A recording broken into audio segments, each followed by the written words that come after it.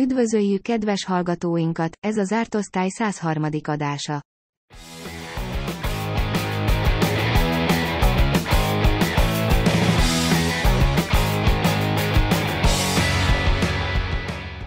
Üdvözöljük kedves hallgatóinkat az Ártosztály 103. adásában. Hello! Ezen a héten sokat fogunk beszélni a robotokról. Igen, rögtön egy etikai dilemmával kéne kezdeni. Mert hogy ott van ugye ez a bizonyos mesterséges intelligencia. Ez azért nagyon jó, mert ki tud találni nekünk új dolgokat, meg tud csinálni dolgokat, amiket az emberek nem, vagy csak lassabban, vagy sose érnének a végére, mert ráér mindenen gondolkodni, sose alszik meg egyébként is. Gyorsan számol. És akkor jön a kérdés, hogy és hogyha ez a mesterséges intelligencia föltalál valamit, akkor az kinek a tulajdona kiegyeztetheti azt be, mint találmány, szabadalom. Különböző jogrendek különböző megközelítésben mentek ennek a témának neki. Az ausztrálok például kijelentették, hogy már pedig a mesterséges intelligencia igenis jegyeztethet be szabadalmat, illetve lehet mesterséges intelligencia nevében bejegyeztetni szabadalmat, mert az első az azt jelenteni, hogy egy robot jön és bejegyezteti a szabadalmat, ami lehet, hogy még meghaladja az értelmi képességeit. Nem lehet, hogy az a feltétele van ennek a bejegyzésnek, hogy magától kitalálja az mesterséges intelligencia azt is, hogy hogyan kell ezt online bejelenteni, nehogy Isten rögtön beleírjon a szabadalmi adatbázisba, ha már arra jár? Ezt szerintem még fel kell találnia. De, de hogyha ezt meg tudja csinálni, akkor az ausztrálok szerint nincs akadály, akkor már elég okos ehhez is. Mehetünk. Nem baj, szerencsére ez így akkor megoldotta a kérdést, az AI lehet feltaláló. Így van. Ezzel szemben az amerikaiak azt mondják, hogy hogy nem? Mert hogy csak természetes személy lehet feltaláló cég sem, meg AI sem, mert az micsoda, annak nincsen személyigazolványa. Így van, mert hogy ez a teljesen humanista, kizáró megközelítéssel úgy döntöttek, hogy a, a gépek azok nem emberek. Ebben mondjuk van valami. Elgondolkodtató, hogy akkor most akkor az egyik az azt mondja, hogy az AI az velünk egyenrangú feltaláló, a másik meg azt, hogy az AI az olyan, mint a rotakapa, hogy így kiviszed a kertbe, beröffented, és, és a te eredménytermékednek tekintjük azt, hogy fel van kapálva a kert. Függetlenül attól, hogy egyébként ő dolgozott, te csak erősen követted. Ugyanakkor ezzel a döntéssel nem csak ezt mondták ki. Ha nem? Ezzel gyakorlatilag azt is kimondták, hogy csak az emberek minősülnek feltalálónak, így kizárták például a holdi gyík embereket. De a tanult orángutánokat is. Na, azokat tényleg. Ugye? Szerintem ez egy, ez egy eléggé diszkriminatív rendelkezés volt. No tehát akkor a két álláspont az az, hogy az AI-nak van szabadsága föltalál valamit, akkor azt nyugodtan levédetheti, és akkor az onnantól az övé kérdés, és ezt akkor, ha más AI is föltalálja, akkor ezek hogy fognak ezen vitatkozni, összeveszni a szabadalmi hivatal, hogy fogja őket kibékíteni. Másik meg azt mondja, hogy az AI a te tulajdonod, amit ő összekalapál neked, ez a tied. Ez kicsit ilyen modern rabszolgatartás, nem? Azzal, hogy már te hoztad létre a rabszolgádat is. Ha jól tudom, amúgy is a bejegyzett szabadalmak azok az adott személynek a munkáltatóját illetik, nem? Elég gyakran. Azt munkaidőben végezte azt, a, és a munkaköre részeként Tehát mondjuk a az, az Apple szabadalmait természetes személyek jegyzik, de valójában az Apple tulajdonolja. Uh-huh. Erre gondolsz? Igen. Vagy haszonélvezője. Mondjuk mit kezdene egy robot annyi pénzzel? Igen. De ha már szabadalmak... Tegyünk igazságot. Nincs igazság. De szerinted melyik a valós, melyik a helyes álláspont? Ez így most a öt kontinensből kettőt döntött. Aha. Bár nem vagyok benne biztos, hogy Dél-Amerika ebbe. Mit javasoljunk a magyarnak? Hát harmonizáljuk a joggal, az uniós joggal. Ami mit mond? Még semmit, de majd, ha megkérdezik, akkor öt év múlva megtudjuk. Talán. Nekem egyébként nem annyira tetszik az ötlet, hogy az AI-t mint szemét kezeljük ebben a pillanatban, hiszen még nem teljesen önellátó, meg ön, önjáró dolgokról vannak szó. És ha önjáró lenne, az még ijesztőbb lenne. Tudod, mitől lesznek majd önjárók? Na. Hát, hogyha például egy olyan szabadalomról is szó esik, amit a Dyson jegyzett be nem régiben. Ez a hajszárító gyártó Dyson? Ö, meg, ilyen, meg ilyen készszárító. Ja, porszívó, tényleg, az ilyen mindenféle fúvó eszközök, tényleg, így mond. Bármi, amiben levegő mozog. De képzeld el, ők most nem, nem levegőbe beszéltek, hanem kifejezetten lépcsőmászó és fióknyitogató robotokat találtak fel, illetve szabadalmaztattak. Lépcsőmászó és fióknyitogató. Uh-huh. Ilyet milyen normál felhasználás mellett csinál az ember, hogy így kinyitatja magának a fiókot? Hát ilyen polgári felhasználásra gondoltál? E, a konyhai robotgép új funkció, amikor, amikor szólsz neki, a Sirinek, meg a robotkarjának, hogy légy szíves, vedd elő a szárított reszelt citromhéjat a fiókból, és akkor kinyitja, kiválogatja, előveszi, és odaadja neked. Egy ilyen bazi robotkar, ami lejog a mennyezetről. Hozd ide a szemüvegemet a felső fiókból. Aha, az emeleti fiókból. Vagy szaladj már föl a, a hálószobából. Igen, igen, igen, ezt akartam mondani, ha fölmennél esetleg. Léci. Ugye, mert udvariasak akarunk lenni velük, mert amikor átveszik az uralmat, akkor... Jogos, csak... jogos, jogos, jogos, jogos. Igen, nem, nem sértjük meg őket, sose lehet tudni. Jobban memóriájuk, mint nekem. Tudom, tudom, robotporszívó. Hogy eddig ugye, hogyha lépcsővel találkozott, vagy nagyobb küszöbe, ki tudja porszívozni a fiókot? Az egész házat föl is tud menni az emeletre, meg le is, és akkor ha már arra jár, akkor meg kell tanítani hajtogatni. Hajtogatógép már régóta létezik, ugye, hiszen ipari hajtogatás az most is működik, és akkor ki tudja venni a fiókot, és össze tudja hajtogatni, ami benne van, és szépen visszarakni. Miután kiporszívozta a fiókot, fiókot is. összehajtogatja. Így van. Lemérem zokni párosítani, és megtanítanak neki, az, azért nem egy bonyolult dolog az egyformákat fölismerni. Uh-huh. Megteregetni. Ugyanakkor nekem úgy nem annyira polgári felhasználás is eszembe jutott. Mit gondolsz arról, melyik szakmában van az, hogy föl kell menni lépcsőkön, és kinyitni fiókokat. Lehetőleg akkor, amikor a házigazda nincs otthon. Te mondd, te hangod mélyebb. Betörő robot. Titkos szolgálat. A következő megoldás az a helyszínelő, vagy házkutató robot. A házkutató robot. Házkutató robotot készíteni, hiszen ezt nem elfogult, nem fog bizonyítékokat elrejteni a fiókokban, nem fog rendetlenséget csinálni, elfogulatlan. Miért is? Most még. Robot. Azt csinálja, amit kérünk. Nek. Hát auditálható a programjuk. Miért pont Audi? Mert a BMW nem gyárt ilyet. Losers!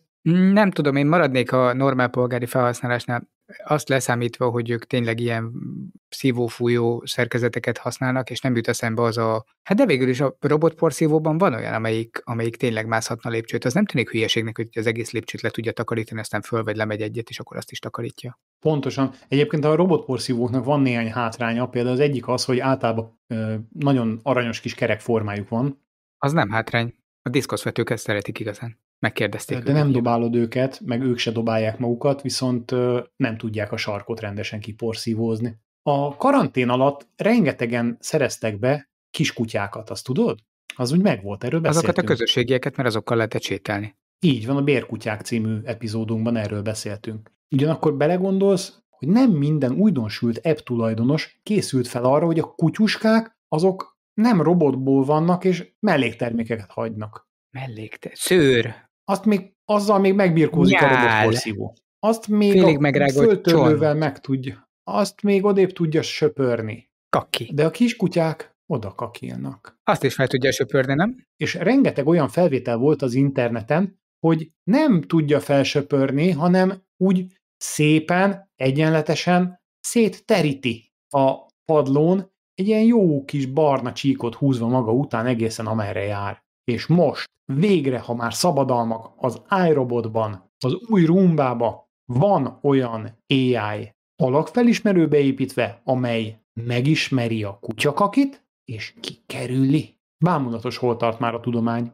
Ez nekem nagyon tetszik, ez egy nagyon hasznos funkció. Ezt be kéne építeni egy pár más helyre is, nem? Ha már, Igen. Ha már megvan az alakfelismerés, kész van. Én azt gondolom, hát ha már nem szak, hanem alak alapján dolgozik, akkor különösen hasznos, mert például a mai fiatalok túlnyomó része az utcán ugye úgy közlekedik, hogy föl se néz a telefonjából. De ennek a mellékhatás, hogy a mhm. telefonjának a kamerája viszont folyamatosan a föld felé néz, amit a felhasználó nem lát a telefon miatt, mert odáig ő nem néz, de milyen jó lenne, hogyha a telefonot kamerája be lenne kapcsolva mindig, és lenne benne ilyen kutyak, aki felismerő, és akkor amikor pont belelépnél, akkor egyel előtte, hiszen ez valami beléd néz, szólna, hogy állj, most került ki. Ezt úgy is el tudom képzelni, hogy ilyen OR feltétként rákerülne a telefonra, hogy éppen mi van előtted. És hogyha kutyakaki, akkor pirosan villogna. Ja, hogy csak simán nézed a telefonot kijelzőjét, ami megjelenik a föld előtted, és az beazonosítja a szemeteket, meg mindent, ami az utcán van. Ah, egy ilyen, ilyen overléként, mint hogyha ilyen fél eresztő tükör lenne. Hm? Aha, tudsz élni. Tudsz élni. Ez egy nagyon érdekes ötlet. És akkor ezt viszont egy ilyen Google Maps-en élő gyalogos navigációnál lehetne hasznosítani.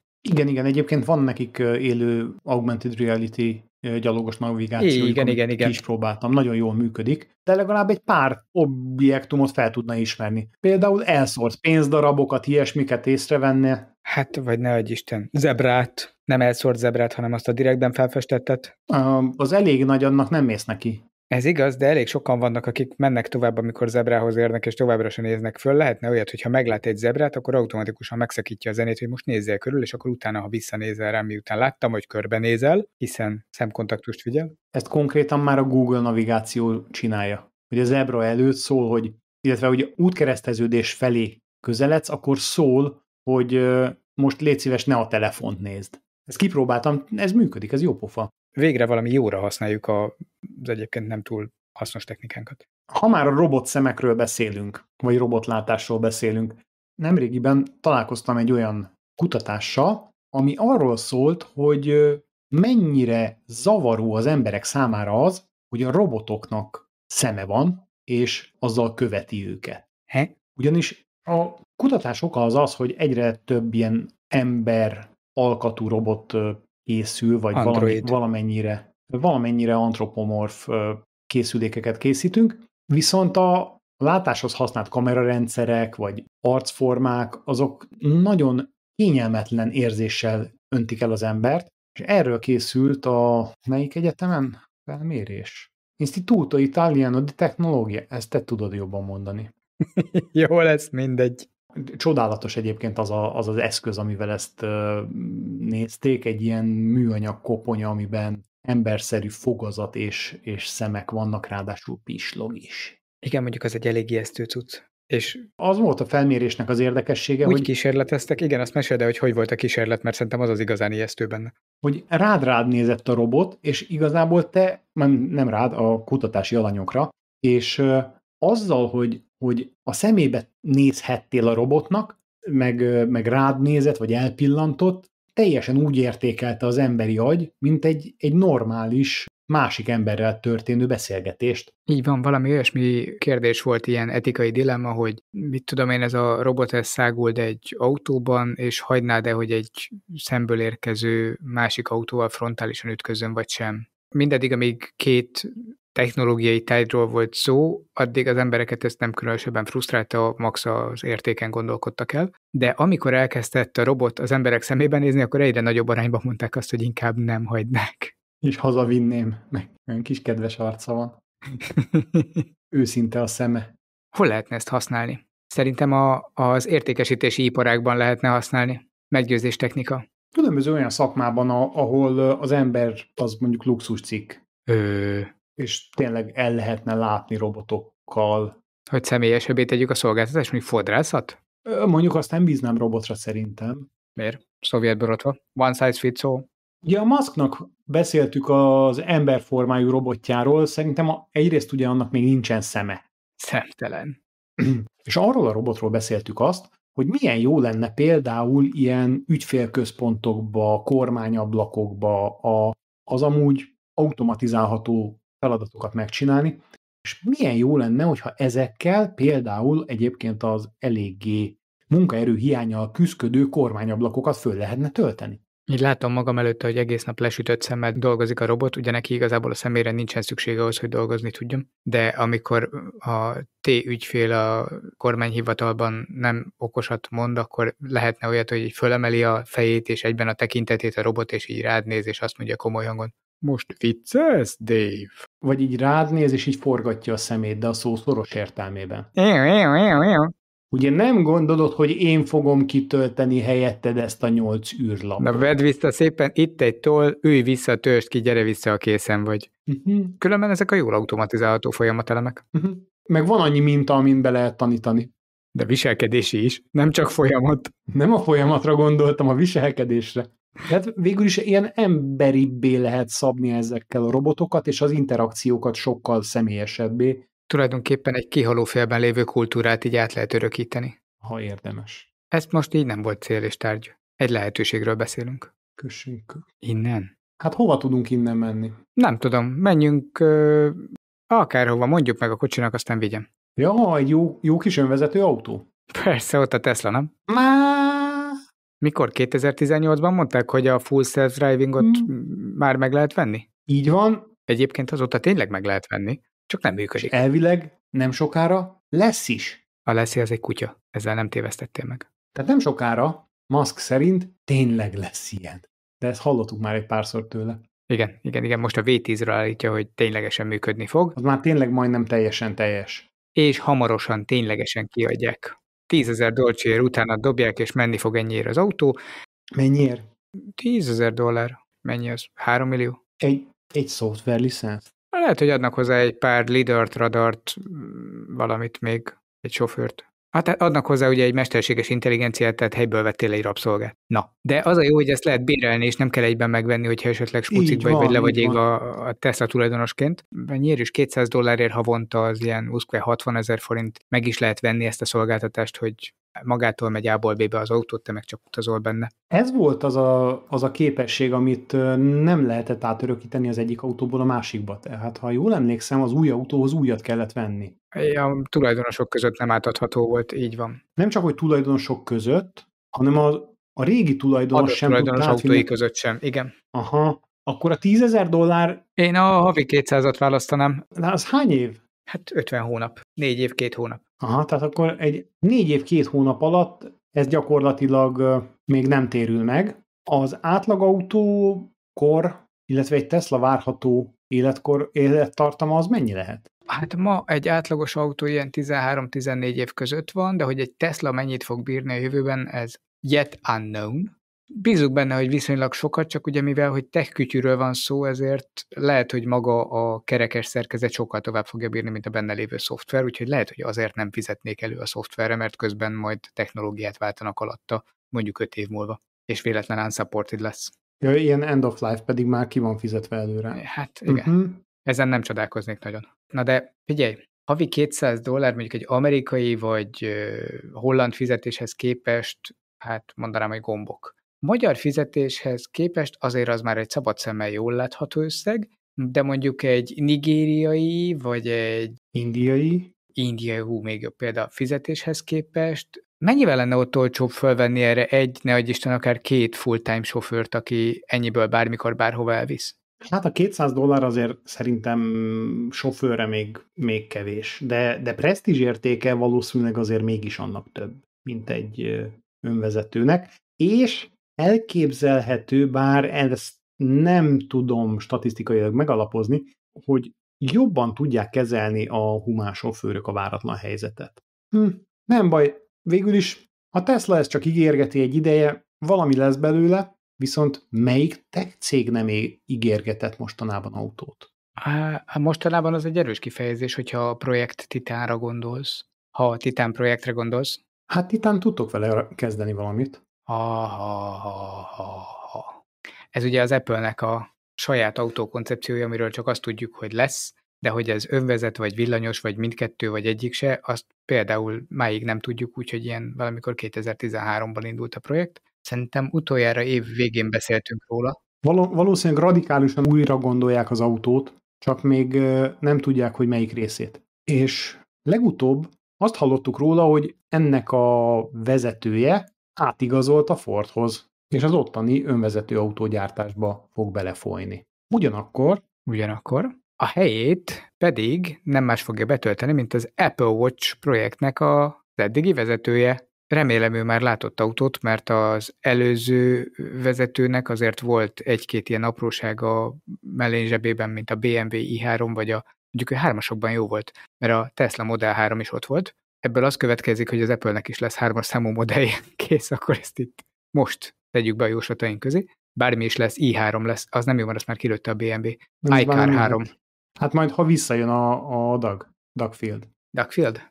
Ja, ja, mert ő is ilyen jövőmenő. Igen, igen, hát meg ő is dolgozott már az Apple-nél korábban is. Na de várjál, itt van ez az Apple Watch cucc, tehát hogy jön, jön az Apple Watch projektnek az egyébként tényleg sikeres vezetője, és akkor most mire számíthatunk, hogy ez az autó akkor nem a lekerekített Mighty Mouse-ra emlékeztető formájú lesz, hanem négyszögletes, kiskerekített sarkokkal? Négyszögletes és reflexből még karra csatolható. Autó? Aha. Ú, azért az fájna. De akkor fog tudni hát... púzust mérni meg ilyenek. A biztonsági öv beleszépítve ezek szerint akkor púzusmérő meg lépésszámláló. Így van. Lépésszámláló az autóban kifejezetten hasznos. Mindegy, de egyben volt a kettő. Lehet, hogy lábban fog mérni. Még nem tudhatod, lehet, hogy Flintstones Edition lesz. és akkor van értelme a lépésszámlálónak, jó? Ja, és akkor egyben, egyben health. Így. Aha. Na hát, na hát, na. Jó, figyelj. Hmm. Egyébként ennek az új vezetőnek az egyik legnagyobb flash az az volt korábban, hogy ő az Adopt-tól jött 2013-ban talán, és az ő nevéhez fűződik az Apple-nek az a híres levele, amiben az Adobe-nak megírták, hogy köszönik szépen ők az iOS-be, nem kérik a Flash-t. Nem, nem kérünk iOS-es Flash Player-t. Hát legalább ő tudta, hogy miről beszél. Igen, nem fogjuk beleépíteni. Nemrégiben sikerült kiírtani végre a Windowsból is. Így van. Ugyanakkor valahogy nem halad ez a Titan projekt, szerintem kéne nekik is valami hatékonyságfigyelő szoftver, nem? Ja, Mint hogy így valami az Amazonnak van. monitor legyen azon, hogy mi, ki és mit dolgozik, mert láthatóan nem haladnak. Aha. Nem halad, igen, igen. Viszont ezzel megint problémák vannak. Már megint mi baj van?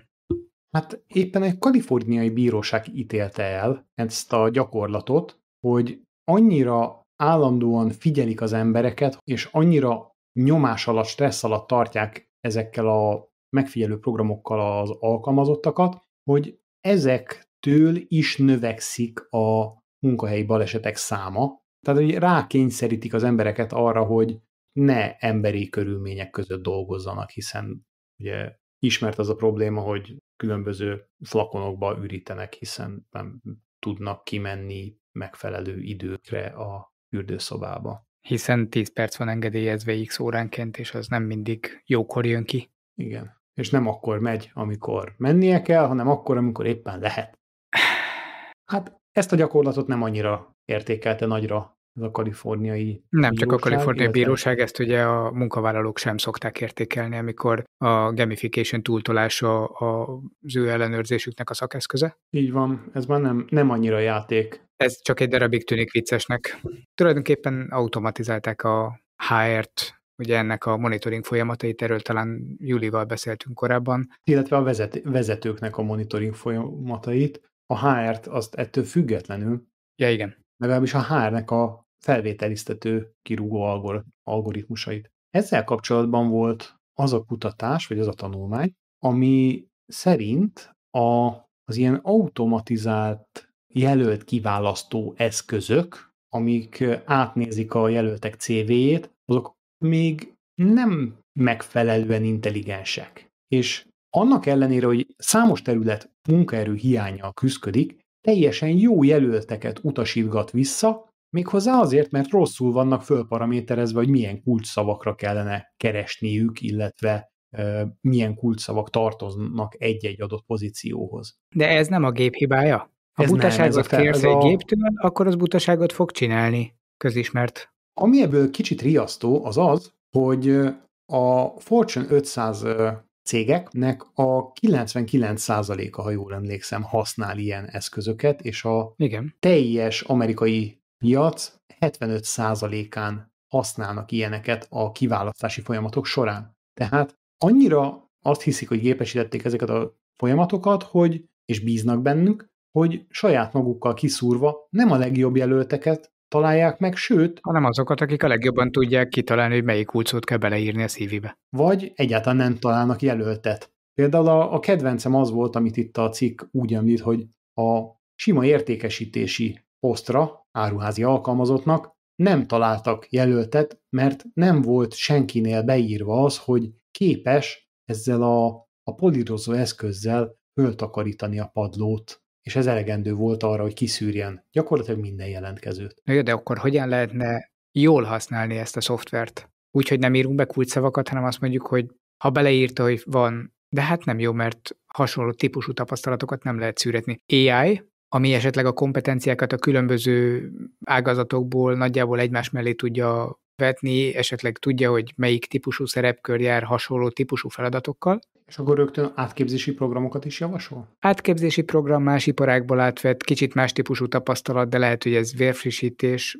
Egy jó HRS ezeket szerintem kifejezetten figyeli, amikor ilyen Igen, oldalirányú, de nagyobb lépés, viszont a kompetenciák megvannak, és akár újat is hozhat azzal, hogy teljesen más a szemlélete egy, egy közép vagy felső vezetőnek. vezetői szinteket szerintem nem ezekkel a szoftverekkel töltetnek be. Viszont azon gondolkodtam, hogy én is heti szinten kapok olyan pozíciókról ajánlatot, amiknek a témájában rendelkezem olyan ugyan tapasztalattal, de még igen zsenge fiatal koromból, és képzeld el, hogy Benne van a CV-dben. nincs benne. Ugyanis azokat a profiljaimat, amiket föltöltöttem CV-ként még valamikor valahova, illetve a LinkedIn-es profilomat megtisztítottam ezektől a dolgoktól, azt tudom, hogy a LinkedIn recommendation van néhány olyanom, amit nem tudtam, vagy nem akartam annyira leszedni, mert listázva van, ugyanakkor már olyan régen nem foglalkoztam vele, hogy, hogy tényleg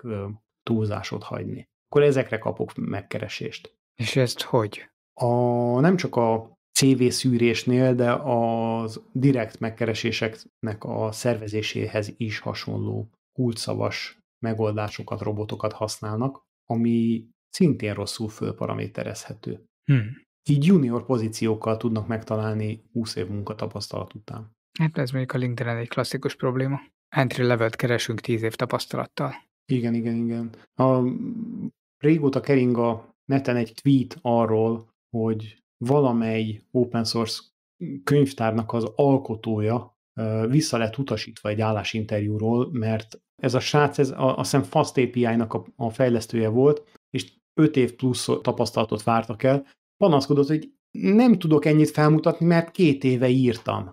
Tehát ő személyesen. Tehát ugye az, az nem egy olyan, ami ugye például Kubernetes az egy elég uh, nagy fejlesztő csapatnak az eredménye volt, de ezt viszont ő csinálta. Na jó, de ott is van hogy elvárnak 10 meg 15 éves tapasztalatot, úgyhogy nincs 10 éves a technológia. Igen, technológia még nem létezett, vagy még, még az elődje se létezett. Mondjuk ugye, ha összeadod a váltott műszakokat, meg lehet. Ja, igen, igen, igen. Bizonyos cégeknél egyébként kétszeresen számít az év. Ez lesz a megfejtés. Igen. Hát meg ugye a napi 16 óra az rögtön két nap, nem? Tehát mendélyben számoljuk a tapasztalatot is. Egyébként a másik, ami miatt nagyon meg tudnak zavarodni ezek a botok, hogy ha valahol a CV-ben lyukat látnak, egy időszakot kiesést látnak, akkor nem vizsgálják azt, hogy munkanélküli volt, vagy szabatikára ment, vagy Vagy ne Isten, szeretteit ápolta otthon. Gyerekkel volt otthon, vagy bármi, hanem azt automatikusan rossz pontnak számítják, és Ja, hogy ilyen apróság ugye, hogy recesszió idején elvesztette a munkáját, és hiába keresett újat. igen, ezeket nem szeretik. De vajon miért? Tehát miért automatikusan KMK mindenki, akinek van egy fél év szakadás a CV-jében? Valószínűleg azért, mert ennyi erővel akár börtönben is ülhetett. Kérdezzük meg. Az már munka. Kérek elnézést. Ezt például nem bízzák a robotokra. Tehát aki ilyenre szeretne pályázni, ne hagyjon üres részeket a CV-ében, és mindenképpen az összes létező kulcsszót, ami a szakmára jellemző, amiben dolgozik, vagy annak környékén, hashtagelje be, rakja mellé. Lapszegélyen körbe-körbe. Lapoljára átlátszóval. Igen, egy ilyen, ilyen szófelhőt még rá kell csapni. Ugye, mint hogy régen a weboldalak keresőket megtévesztették. Igen, fehér alapon fehérrel, vagy háttérszín alapon háttérszínnel, igen. Aztán Na, van, van még új Bezos híred?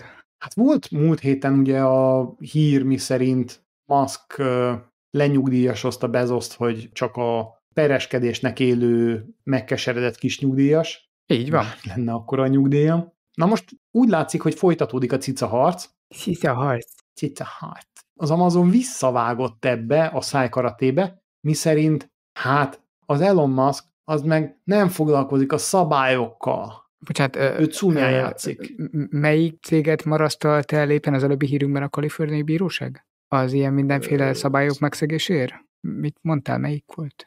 Csak, csak picit kényszerítették az alkalmazottakat az Á, jó. Amazonnál, nem nagyon. De az Amazon, értem, jó. Csak tényleg így felmerült. Nem, nem, Igen. tehát úgy néz ki, hogy egyik cég sem a kultúrát kooperációjáról híres. Cégeket növeszteni tudnak, de felnőtt módjára küzdeni azt még úgy tűnik egyikük sem jól. Pedig volt idejük rá, hogy megtanulják. Hát hány éves most Jeff?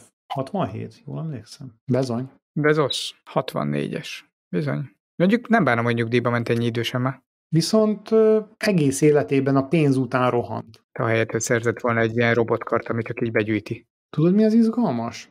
Hogy ö, Bezos rájött arra, hogy nem viheti magával a pénzét a más világra, és ilyenkor mit szoktak csinálni a milliárdosok? Eltemetetik magukkal. Nem, hát elkezdenek, adakozni kezdenek, nem? Nem. Hát Nézd meg a Gates alapítványait. De ő már fiatalon is adakozott. Ő már akkor is fura volt. Uh-huh. Bezos nem. Nem, hát ugye ezt a fagyi automatájánál meg is beszéltük a hallgatókkal, hogy nincs teljes egyetértés abban, hogy vehet-e ilyet magáénak. Szerintem az unokaöcseinek szerezte azt a fagyi automatát, és pénzbedobós. Ott szerzi vissza a, a, az unokaöcsének adott zseppénzt. Jó. Nehogy már ingyen legyen. Oké, okay. tehát na, arra akartam célozni, hogy nem viheti magával, hát akkor mit csináljon? Ugye előbb-utóbb az ember így is úgy is meg. Föléli. De kevés az ideje rá. Akkor most az egészet elkölti űrutazásra. Sokkal intelligensebb ennél. A Musk is ezt tervezi egyébként, azt észrevetted? Persze. Ő itt hagy majd a végén mindent valakire, és a maradékból előrutazza magát, és vissza se jön. Bezos viszont azt találta ki, hogy megveszi az Altos Labs-et, Mit? amely egy laboratórium. Azért vásárolta meg ezt a, a kutatócéget, mert ez nyilván mivel foglalkozik? Az emberiséget akarja szolgálni, nem? Uh-huh. Ja nem, a gazdag embereket akarja szolgálni. Uh-huh. Azzal, hogy meghosszabbítja az életüket. Ez egy géntechnológiával foglalkozó laboratórium, Igen, ami sejtenként méri föl, hogy mennyi idősek a sejtjeid, és utána valahogy visszafiatalítja őket, bár teszem hozzá szerencsére nem nullára, hanem valamilyen átmenetire. De mit tenni, 70 évesen, hogyha faragsz 20 évet, és ezt 20 év múlva megismétled, az akár elég is lehet a megfejtéshez. igen, és ameddig van pénzed, addig Hát 20 év alatt csak kitermeled újra és újra, hogyha már előtte is volt. hát attól függ, hogy árazzák. Bezos szerintem tudja úgy árazni, hogy ki tudja fizetni 20 év múlva is. Igen, hát főleg, hogy övé lesz az egész labor. Igen, erről beszélek. Jó esélye van, hogy hát az örök élet forrását próbálja megkeresni. Igen, de ennek lehet két oka. Egyrészt az, hogy a milliárdjait nem akarja a sírba vinni, vagy legalábbis minél később, a másik pedig, hogy lehet, hogy mégsem hisz abban, hogy a Sisa harcban nyerhet, de abban igen, hogy mivel övé ez a biznisz, ezért kiválaszthatja, hogy ki az, akit ügyfelének fogad, és ha Muskot nem fogadja ügyfelének, és Musk előbb dobja fel a pacskört, akkor előbb-utóbb az ő birodalmát is már csak meg kell venni. A pacs. Ahol ilyen helikoptereket lehet vásárolni. És azok körbe vannak rakva? Yes. Szóval az is lehet, hogy csak kivárásra motorozik. Egész egyszerűen túl akarja élni a vetétársát. Vagy a bírósági tárgyalásokat. Igen, egyébként sok hasonló cég van, a Samumed, Blue Rock, BioQuark, Life Biosciences, Ajax Therapeutics. Ezek mind-mind erre tették fel az életüket. Ezen kívül még számos más alkimista is foglalkozott a bölcsek kövének megtalálásával. A másik az egyébként az, hogy lehet, hogy ezt így a köznép felé is terjeszteni akarják, mert van egy csomó olyan film, ami a Covid miatt nem jelent meg, és, és hogy, hogy legyen közönségük még, amikor megjelenik, és az ne a következő generáció legyen, akit már ez nem fog érdekelni.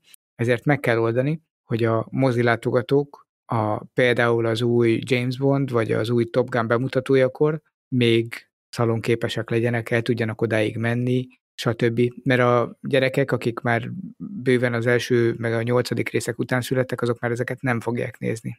Szóval az is lehet, hogy csak fenn akar tartani egy hal- haldokló iparágat, vagy többet. Az is lehet, hogy a Top Gunban már erősen, hogy is mondjam, ifjonti báját elveszítő Tom Cruise visszakaphatja a korát. Mit, mit gondolsz? Képzeld el megint egy Visszakapta, láttad mostanában a képeket róla? De most a botox nélkül. Olyat nem tudok elképzelni. Különben tényleg 2021-ben miért nem deepfake-kel csináltunk fiatal Tom Cruise-zal Top Gun-t? Nem hagyta szerintem. Én csinálnék ilyen folytatást, basszus. Olyan reméket, amiben az eredeti színészek vannak 20 évvel később az, első, az eredeti arcukkal, de mégis ők játszák el. A színészet jövője. Ha? Jó, de itt van ez a Top Gun, ez azért különösen frusztráló, hogy csak később fogják bemutatni, mert ugye uh-huh. a múltkor is beszéltünk a Microsoft Flight Simulatorról, és ott igazából nem csak a U-52-eseket akarták kiadni és bemutatni, hanem valójában ott másféle harci gépek is lettek volna szerintem az eredeti kiadásban is, csak azokat már nem várták meg, hogy addig is legyen valami kis hype. Egészen pontosan jön majd hozzá egy Top Gun Expansion, azaz kiterjesztő csomag. Szóval lesznek benne rendes, igazi, hát ha nem is legutolsó generációs, de ahhoz hasonló vadászgépek is, csak adják már ki ezt a nyüves filmet, mert addig nem mutathatják be ezt a kiterjesztést sem. És ha jól láttam, ez egészen jövő májusig vissza lesz tartva. Hát tavaly nyár óta, ja. Igen. Akkor az azt jelenti, hogy a Flight Simulator az, az egy elég jelentős karácsonyi kieséstől elesik. De az még a tavalyi, idén már nem fáj. Képzeld el, hogy azok a merchandise-ok, amik ilyen ehetők, mit tudom én, cukorkák, csokik, Szívószálak, amiket közben betiltottak. ja, amit betiltottak, üdítők, amiket ilyen Top Gun-osat legyártottak, és tényleg valami ehetőt tartalmaznak, ami lejár, azokat lassan újra kell gyártani, be kell zúzatni. Mert nyilván azt az Mhm. eredeti bemutató előtt már elkezdték csinálni, hogy akkor hirtelen legyen belőle kéznél 500 millió darab. A radír meg a műanyag pohár nem fog tönkre menni, de hogy ez mekkora gáz, mert egy szoftvert nem kiadni, hát jó. Bár teszem hozzá, annyit halad a technológia, hogy addigra kijön mondjuk az új Xbox, már nem az S lesz, hanem a mit tudom én, SXS, tök mindegy, meg a PlayStation 6, és akkor azokra újra kell B. optimalizálni, mire kiadják. Nem, Ja. olyan még nem volt. Szóval, hogy még azért itt szoftver oldalon van még egy ilyen apróság is, hogy oké, okay, később adjuk ide, lehet, hogy közben akkor kell gyártani belőle új verziót a kiadásra, és annak lesz még egy kis extra költsége. Igen, és az előzőt már nem tudjuk eladni se. Hát vannak ilyenek. És ugye az igazi probléma az pedig az, hogy lehet, hogy addigra nem is lesz erre már közönség, mert ki tudja, hogy a, az akkori fiatalok, amikor majd ténylegesen bemutatjuk, egyáltalán érdeklődnek-e még. Top Gun, vagy Flight Simulator, hogy vagy ki volt ez a. Tom Cruise? Megnézik a Wikipédián. Az az, az, az a csók, aki az Audrey Hepburn-nel játszott, nem? Ne, nem. Nem. Elizabeth Taylorrel? Nem, nem. Nicole kidnappel. Ö, Ja, nem.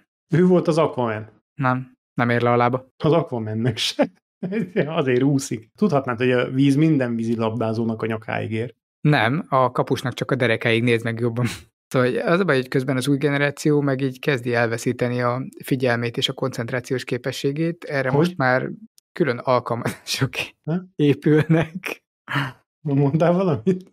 Egy nagyon érdekes kettőség van, mert Facebookot böngészni, meg Instagramot böngészni egyébként órákig tudnak, de azon egy-egy adott tartalmat már csak töredék másodpercekig, és ha még meg is ragadnak valaminél, az akkor is ilyen 10-20, max 30 másodperc, és akkor is mennek tovább, hogyha még érdekli őket, annyira nem tudnak sokáig egy dologra figyelni. Hiszen ott van a, az összes többi másik.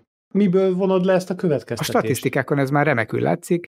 Most először idén nyáron az átlagos nézettségi időben a TikTok megverte a YouTube-ot, még Amerikában is, a világ többi részén már viszonylag rég, ami azt jelenti, hogy az emberek összességében több időt töltenek a 10 másodperces videók bámulásával, mint mondjuk a félórás, órás, de akár csak pár perces egyéb videók folyamatos figyelésével, ami azért valahol szomorú. Semmiben sem mélyülnek el.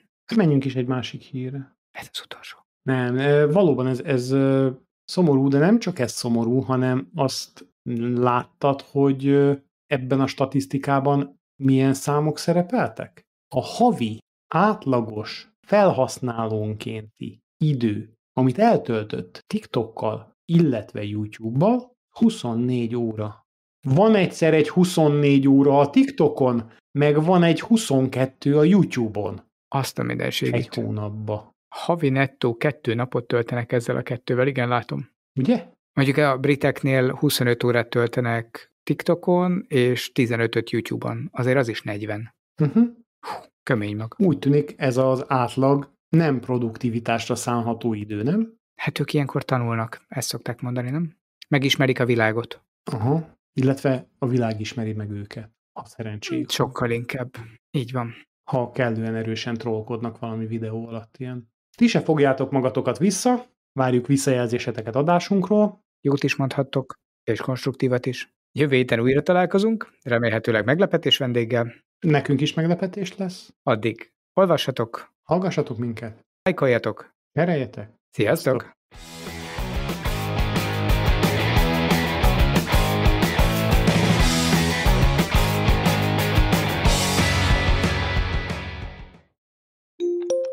Meg azt, hogy az AI az olyan, mint a rotakapa, hogy így kiteszed a kertbe, és azt csinálod, amit kér. Nem. De nem jól mondtam. Nem azt csinálod, amit kér. Jó, oké. Okay. Ez majd egy pár száz adással későbbi lesz. Igen. A helyét lefagytál, vagy nem Apple beszélsz? Watchról... Me- hm?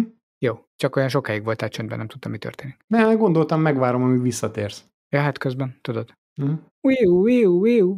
A helyét... Na Jó, de akkor hogyan lehetne... Jó, na.